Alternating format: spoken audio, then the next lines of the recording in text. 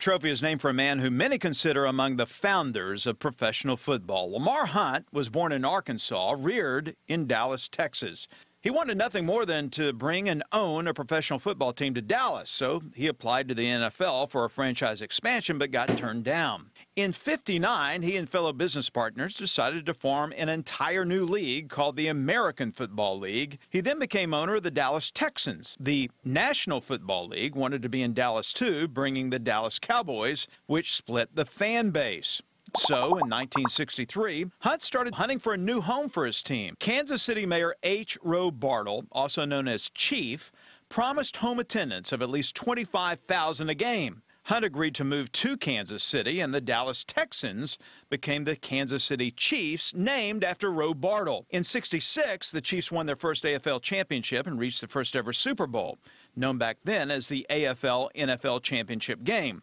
They lost to the Green Bay Packers. Later in 66, the NFL and AFL agreed to merge with a championship game between the two leagues at the end of the season. Well, Hunt had jokingly called it the Super Bowl. By the third championship game, the term Super Bowl had stuck. It became official. Hunt had other Major League influences too on Kansas City. He founded Major League Soccer, he owned the Kansas City Wizards and other sports franchises, and he also helped establish the Worlds of Fun and Oceans of Fun theme parks. Now, just south of those theme parks is the Hunt developed Subtropolis.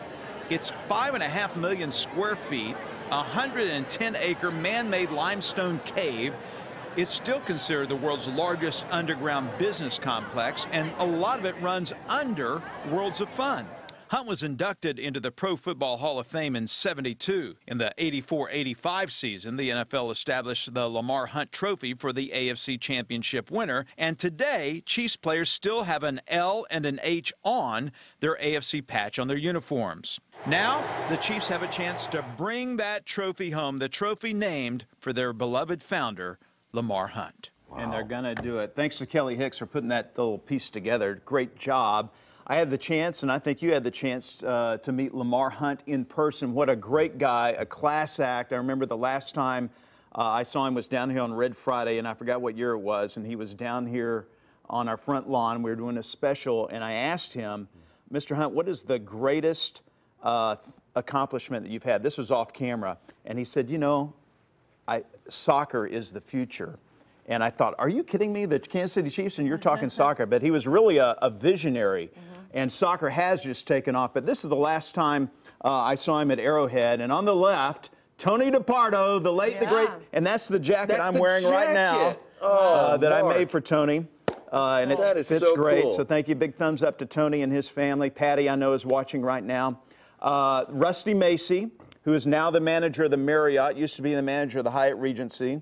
Of course, Lamar Hunt, and you know the guy on the far right, don't you? Yeah, that's I can't see Carl it. Peterson. Carl Peterson, of course. Yeah, yeah. former uh, GM, still a great guy. Lives in town, still has a uh, apartment or condo near the plaza. And rooting like crazy for the Chiefs too. Carl Peterson is. Uh, he he loves it. We were talking at uh, there was a dinner uh, that we were in a couple of weeks ago, and he is so excited mm. to be a part of the history of Kansas City and to see what's happening now with these players. It's hard not to be. Yeah. This is a really cool time to be in Kansas City and you know what? I, I think that deserves a cowbell. There you go.